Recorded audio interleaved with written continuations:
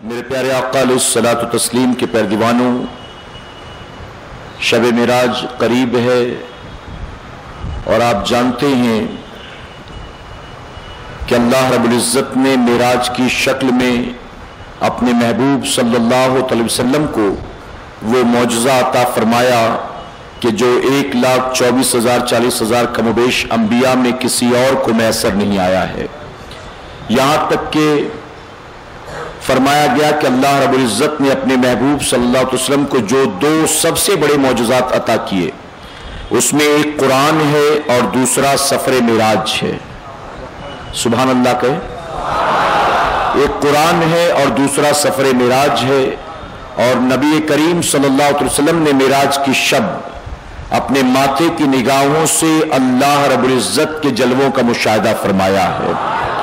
मेरे प्यारे अकाल सलात तस्लीम के पैरदीवानों तो इस रात को हमें और आपको यहाँ वहाँ ज़ाया नहीं करना, बल्कि आम तौर पर हमारी मसाजिद में, यानी अहल सुन्नत वल जमात की जो मस्जिदें होती हैं, वहाँ ऐसी बड़ी रातों में ज़रूर महफिलें हुआ करती हैं।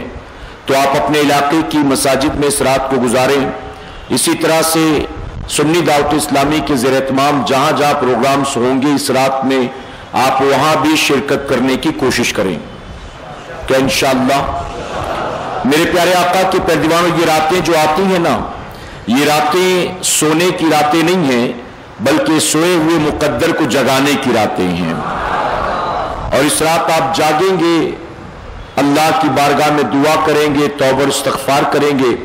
ज़ाहिर है कि माए रजब की रात में इबादत का अल्लाह सवाबता फरमाएगा कि माए रजब ये हरमत वाला महीना हमारे सामने से गुजर रहा है तो उसकी कम से कम मिराज की, मिराज के बहाने कम से कम एक रात अल्लाह इबादत का मौका अता फरमा देगा। इसी तरह से आपको रोजा भी रखना है। मेरे प्यारे आका के पैरदीवानों शब मिराज इन शाह माहिम दरगाह शरीफ पर हर साल की तरह इस साल भी फ़कीर का बयान होगा। वहाँ रात 12 बजे के बाद महफिल का आगाज़ होगा। और एक डेढ़ बजे के आसपास इनशाला फ़कीर का खिताब होगा, जो हजरात वहाँ पहुँच सके, ज़रूर पहुँचने की कोशिश करें। इसी तरह से तमाम बड़ी रातों में कुरला, हमारा जो वहाँ हफ्तावार इज्तम होता है कुरला नौ नंबर मदरसा अनवारुल कुरान में। इन मेराज की शब रात 11 बजे से वहाँ भी जश्न शब मिराज मनाया जाएगा। तो बहरहाल आपके इलाकों में जहाँ कहीं भी ऐसी महफिल मुनद हो, आप ज़रूर हाजिर होने की कोशिश करें वहाँ पर। इसी के साथ साथ आपने अभी सुना कि आपको रोजा भी रखना है तो 27 तारीख का आप रोजा रखने की भी ज़रूर कोशिश करें। मेरे प्यारे आका के प्रतिवानों अल्लाह तौफीक दे तो आप 27 का भी रखें 28 का भी रखें, या 26 27 का रखें। आप कोशिश करें कि माए रजब के जाने से पहले पहले आप तीन रोज़े ज़रूर रखेंगे।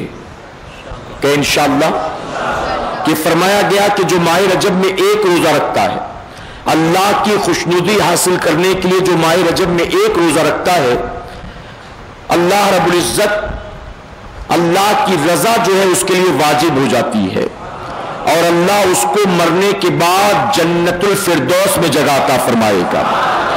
और फरमाया गया, जो माह रजब में दो रोजा रखे, अल्लाह उसको दुगना सवाबता फरमाएगा।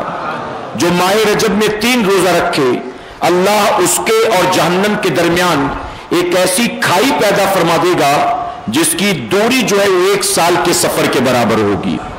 यानी वो जहन्नम से इतना दूर कर दिया जाएगा। जो माह रजब में चार रोजा रखे, फरमाया गया अल्लाह उसको फितने दज्जाल से महफूज फरमाएगा। जो माह रजब में पाँच रोजा रखे, वो अपनी कब्र से कयामत के दिन इस हाल में उठेगा कि उसका चेहरा चौदहवीं के चाँद की तरह चमक रहा होगा।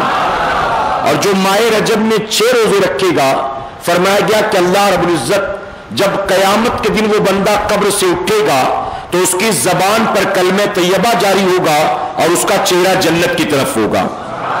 जो माए रजब में सात रोज़े रखेगा, उसके लिए जहन्नम के सातों दरवाजे बंद कर दिए जाएँगे। जो माए रजब में आठ रोज़े रखेगा, उसकी खातिर जन्नत के आठों दरवाजे खोल दिए जाएँगे। तो अब तो इतना वक्त भी नहीं कि मैं आपको नौ का भी बताऊँ, दस का भी फजाई तो सुन लेंगे, लेकिन रखने का मौका नहीं है। क्योंकि अब तो ये महीना गुजरने वाला है ना तो कोशिश करें कि कम से कम तीन रख लेंगे। क्या इंशाला तो 25 26 27 रख लें 26 27 28 रख लें, लेकिन ज़रूर रखें कि इस महीने में रोजा रखने की बड़ी फजीलत है।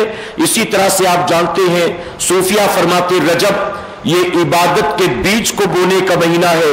शाबान तौबर इस्तफार के आंसुओं से उस बीज को सींचने का महीना है और जो माह रजब में इबादत के बीज बोएगा, माह शाबान में तौबर इस्तफार के आंसुओं से सींचेगा, उसे अल्लाह माह रमज़ान में लहलाती हुई फ़सल अता फरमाएगा। तो गोया माह रमज़ान की तैयारी अभी से करना है, ठीक है?